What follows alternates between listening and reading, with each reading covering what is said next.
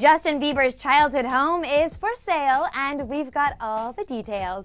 Hey, you guys, I'm Katie Krause, and this is trending on ET Now.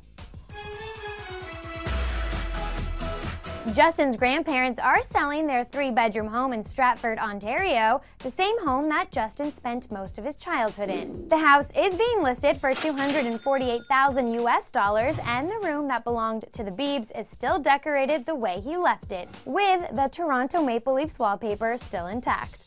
Justin recorded several of his first YouTube videos in the home. Cause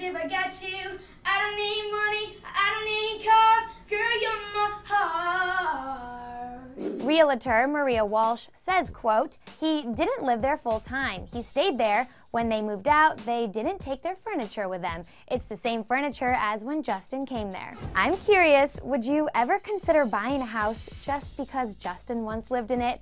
Or is this just a little creepy? Let me know over on Twitter or Instagram, and of course use that hashtag ETNow in your comment. Bye for now.